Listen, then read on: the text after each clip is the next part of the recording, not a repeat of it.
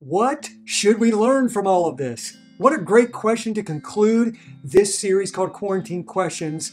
And what your answer might be could be as something simple as, well, I'm going to wash my hands a lot more often for the rest of my life, or I'll never eat a bat, or who knows what yours might be. But I do believe there's some lessons that we're learning through this quarantine. You know, we're celebrating Memorial Day tomorrow. And uh, when I think of Memorial Day, I think of the power of remembering. It's a time when we remember loved ones that have passed away that are dear to us. It's a time when we remember soldiers who gave their all so that we can enjoy the freedoms that we have today. I'm hoping that long after the great quarantine of 2020 is in our history books, that there are things we will remember about the quarantine that stick with us. I believe there are lessons to be learned. And so, as we think about this final quarantine question, what should we learn from all of this? It is my hope and prayer that you remember this one important answer to that question, which we will talk about in just a few moments. I've thought a lot about the why, the why question. Why, why are we going through this? What might God's purpose be in the midst of this quarantine? In what way is God redeeming what we're going through for His grand purpose? It basically is another way of asking our quarantine question What should we learn from all of this? What's the point of all of this? My one big answer I want to give you today is simply this Be still and know that He is God. Be still and know that He is God. This sentence actually comes straight out of the Old Testament from a song written by the psalmist. I want to read that entire psalm to you. It comes from Psalm 46. It says this, starting in verse 1 God is our refuge and strength, a very present help in trouble. Therefore, we will not fear, though the earth gives way, though the mountains be moved into the heart of the sea, though its waters roar and foam, though the mountains tremble at its swelling. There is a river whose streams make glad the city of God, the holy habitation of the Most High. God is in the midst of her. She shall not be moved. God will help her when morning dawns. The nations rage, the kingdoms totter, he utters his voice, the earth melts. The Lord of hosts is with us, the God of Jacob is our fortress. Come, behold the works of the Lord, how he has brought desolations on the earth. He makes wars cease to the ends of the earth. He breaks the bow and shatters the spear. He burns the chariots with fire. Be still and know that I am God. I will be exalted among the nations. I will be exalted in the earth. The Lord of hosts is with us. The God of Jacob is our fortress. I'm telling you, that is such a powerful psalm in the midst of our quarantine right now because doesn't it describe in some ways what we've been dealing with?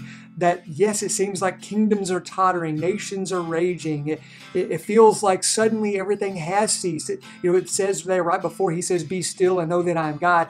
I have broken the bow and shattered the spear. I've made all wars to cease. Doesn't it feel that that's what's happened in the midst of this quarantine? God has lived out this psalm right here on planet Earth. I'm blown away at the power of a tiny little microorganism that is officially called SARS CoV 2, what we've been calling the coronavirus. This small little microorganism, this fast producing, devious, mean little thing that's so contagious, has caused planet Earth to just hit the pause button. Have you seen it? I, have often had conversations with my wife Sherry in the midst of this quarantine, and we will stop and say, if it was not for the quarantine, we would be doing we would be doing this right now, or we'd be doing this this week. This is what would have been scheduled. My wife is a chorus teacher, and spring is the busiest time of the year for her. It's when there's competitions and final concerts of the year. There, there would have been trips to Kings Island, Pigeon Forge, Chicago, all canceled as, as a part of this quarantine. Um, my wife was going to be directing a musical, The Wizard of Oz. That too got canceled as a result of this quarantine. We talked about all that she would be doing. And then, of course, in church world, Easter happened during the quarantine. And that's one of the busiest times of the year for ministers and churches and church staffs, all the things that go around that. As we thought about all the things we would have been doing if we weren't under a quarantine, I'll be honest with you, I felt a little tired just thinking about it. All the stuff we'd have been do- doing We have been running hard and running hard and running hard. You know, uh, the best visual I can think of for what I've personally experienced during this quarantine, it's as if God unplugged my treadmill. This fast moving conveyor belt that I find myself on throughout my life where I'm constantly going and going and going and going. And sometimes I'm not really moving, but I'm going. I'm going through life. I'm doing all the things that we just always do, right? We're always going here, doing that, having these kinds of meetings, uh, making this paycheck, accomplishing these tasks, and then we wash, rinse, and repeat, and we do it over and over and over again. But because of this one tiny microorganism, everything seemed to stop. My treadmill got unplugged, and then now what? We tried to figure out now what do we do with our lives with all of this slowdown, with all of things that we normally do just being canceled. What do we do? How do we adjust? You know, when I look back on these first 11 weeks of the quarantine, I can see some pretty cool things that have happened actually. I've probably started more reading plans on my Bible app than I ever have before. I video chatted with my parents for the first time ever. My life group, we, we met probably more and more consistently than ever during this quarantine using Zoom. And I think about all the dinners I've had actually at the dining room table with my family, time with family. I mean, really good time with family, walks outside, a bike ride with my wife, which hasn't happened maybe in years, maybe decades. These are things that have happened during the quarantine that I'm hoping I'll look back on and remember as a time that I actually slowed down, that God told me to be still and to know Him, to be still and to actually know Him, to seek Him, to talk to Him, to pray to Him, to lean on Him like never before. Well, that's exactly what's happened during this quarantine. And, and I hope that that's what's happened with you. In just a moment, I want to share with you the tale of two sisters, two women, one who refused to be still and one who chose to be still. And it's in looking at their story that perhaps you yourself can find this answer be still and know that He is God to actually become life changing today and for the rest of your life. There have been times that I have said, We've lost a lot during this quarantine. And that is true. Milestones have had to be celebrated with great creativity, if celebrated at all. People who have had to do funerals during this season have had to do them with such small crowds and so many people not getting the closure they normally would get. There are folks who have lost income lost the ability to put food on the table in ways that I can't even begin to comprehend. But some of the things that I feel like I've lost, when I start really thinking about it, I wonder if I've really lost that much. And I wonder, even more so, what I've gained as a result of this quarantine. The slowing down, the being with family more, the thinking about and relying upon God like never before. Those are good things. And it reminds me of Martha versus Mary, if you will. Martha versus Mary. Well, these aren't prize fighters, but the, this is two sisters who took two different paths when Jesus came into their home. I want to read to you briefly their story in Luke chapter 10, starting in verse 38. It says, Now as they went on their way, Jesus entered a village, and a woman named Martha welcomed him into her house. And she had a sister called Mary, who sat at the Lord's feet and listened to his teaching. But Martha was distracted with much serving, and she went up to him and said, Lord, do you not care that my sister has left me to serve alone? Tell her then to help me. But the Lord answered her, Martha, Martha, you are anxious and troubled about many things, but one thing is necessary. Mary has chosen the good portion, which will not be taken away from her when I read this story, I can't help but think of the Brady Bunch episode where it's Marcia, Marcia, Marcia. Well, this is Martha, Martha, Martha. Martha is doing all the work. She's taking care of all the needs. She's treating her guests. She's being a wonderful hostess. And there's her sister Mary, sister Mary just sitting at Jesus' feet, taking it all in, having a great time. And so she goes and tells on her, goes up to Jesus and says, Will you make her help me around here? I mean, can't you see there's a lot to be done here? And, you know, I wonder if she thought, hmm, this is going to be really good uh, this wonderful rabbi, perhaps the Son of God, going to get onto my sister and get her helping me. But his answer was, she chose what was best. Mary chose the best portion. Mary chose the best option. When we're faced with the choice of the rat race of life, keeping things going, accomplishing tasks, at the end of the day, what really matters most? Those accomplishments, those tasks that we have checked off, so many of those tasks that rule our days before the quarantine, or those moments where we stopped and we sat at the feet of Jesus and we just soaked him in. We just soaked up life. I'm reminded that some of the best things in life happen slowly. The marinating of meat, for those of you guys who like to grill a good steak or a piece of chicken, you know what I'm talking about. That wonderful grilled piece of meat uh, didn't become wonderful just because of our grilling uh, prowess. It started in the refrigerator as it marinated in those special seasonings and spices that's when it started. Some of the best things in life happen slowly, carefully. A beautiful sunrise, beautiful sunset, um, the beginning of a friendship, the slow growth of this lifelong commitment between a man and a woman called marriage. These things don't happen fast. They happen slowly. They happen with time. In fact, some of the best things in life that I can think of cause us to have to slow down, take it in, and experience it and savor it. That's what life was meant to be like. And I wonder if one of the great redemptions of this horrible disease called COVID 19 is the fact that God hit the pause button. He did break the bow and shatter the spear and make all wars to cease, and He shook up kingdoms and nations. He spoke and the earth melted. And He says these words to us Be still and know that I am God. Because what's more important than that? You know, Jesus invited us into a different kind of life, and it's so easy to forget that. You know, even pastors like myself, we get so excited and ambitious, and we just want to win the world with the gospel, and we want to lead a great church and lead a great life for others. And when we do this, sometimes we become like Martha, running around like crazy, doing all these things while our souls wilt because the only way we can become what God wants us to be is to stop and to be still and know that He is God.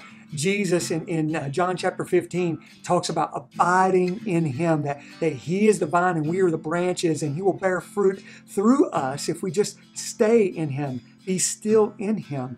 That takes time. I, I've been watching this rose bush outside of my house that I kind of trimmed down big time uh, before the quarantine, right at the beginning of the quarantine. And I'm looking at it, and it still looks so cut down, but slowly over time, some of the browner little branches have, have turned green. And there's this slow process of, of rebirth happening in this rose bush in my front yard. It takes time, it doesn't happen quickly. And that's the way life is, and that's the way God works. If you want to become all that God wants you to become, you must heed the answer to our quarantine question. What lesson do we learn from all this? What do we learn from all of this? I'm hoping and praying that above everything else, you will remember this. Be still and know that He is God. As we close our time together this morning, I want to share with you one more couple of verses from Jesus. He invited people into a different kind of life, and he used this metaphor of a yoke, this giant wooden collar that basically went around two oxen to pull a plow or to pull a, a cart. And they would often attach a young new ox with a older experienced ox. They were both yoked together, collared together, pulling that plow, pulling that cart, and the younger would learn from the older. And that's how they did their agriculture back in those days. Jesus says these words in Matthew chapter 11, starting in verse 28 Come to me, all who labor and are heavy laden, and I will give you rest. Take my yoke upon you and learn from me, for I am gentle and lowly in heart, and you will find rest for your souls. For my yoke is easy and my burden is light. I love this. And I, I think about this sometimes when I feel like my life in Christ, my life in general, is just so hard and so crazy fast. And I'm reminded that Jesus didn't invite us into that kind of life. He says, just yoke yourself with me. My burden is, is, is light, it's easy.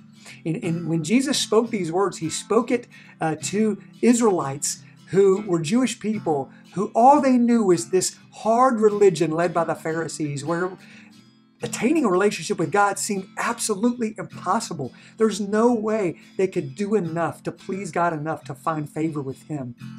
But standing before them was the Son of God Himself, Jesus Christ, saying, Come, come to me, all you who are labor. I got a better life for you. I've got an actual simpler life for you. That's just simply yoke yourself with me, and I will lead you, I will guide you, I will cause you to become everything that I created you to become. That doesn't mean it's going to be the easiest life ever where everything you could ever desire or want comes just so easily to you. As I look at the life of the Apostle Paul, that poor guy was shipwrecked and he uh, was persecuted and people didn't understand him. And even sometimes his own fellow Christians gave him a rough way to go. That doesn't sound like an easy life. But Paul said, To live is Christ and to die is gain. He was living the Christ life. He was accepting that easy yoke of Jesus, and it was the better way. It is the better way. And you have to choose that because our life, this world in which we live, it goes so fast, so hard. Just remember what pre quarantine life was like. Perhaps even your current quarantine life is still fast and hard in some ways. But as you think about that, hear the voice of Jesus beckoning you, inviting you to a different kind of life where you simply be still and know that He is God. And you are along for this wonderful ride where He is leading the way, leading you, leading you down His path for your life. And really, the only time that becomes hard is when you try to pull away from that yoke, when He's trying to lead you and guide you this direction.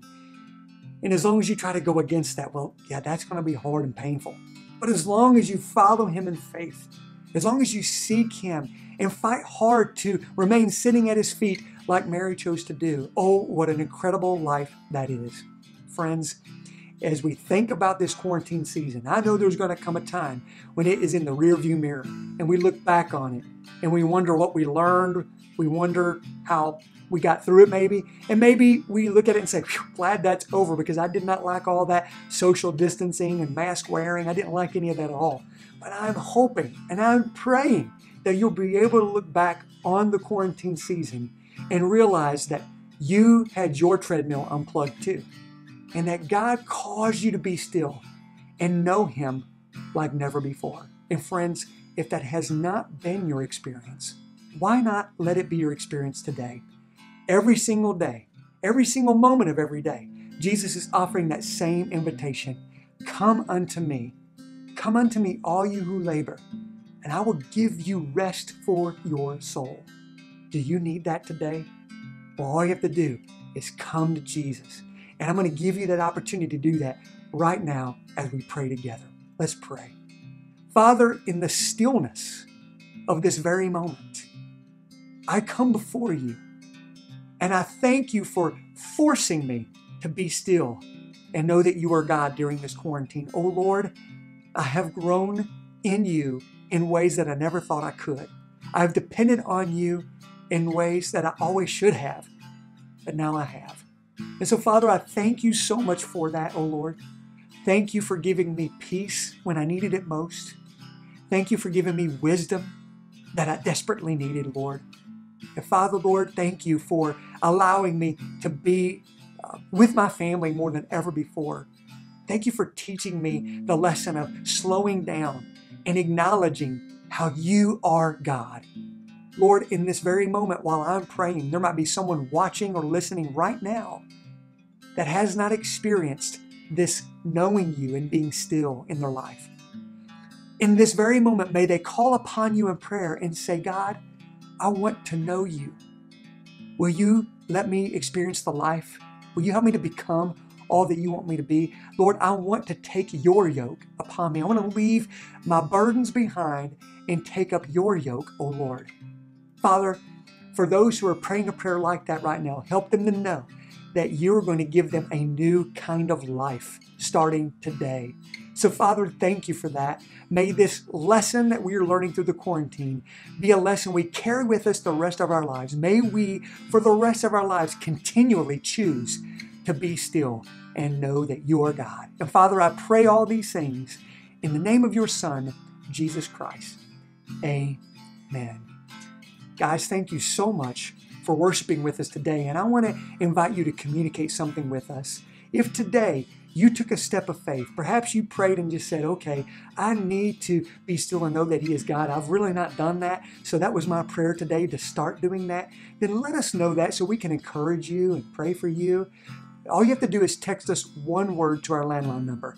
Text the word life, L I F E, to our number 859 356 3162. We would love to hear from you so that we can just give you some encouragement because guess what?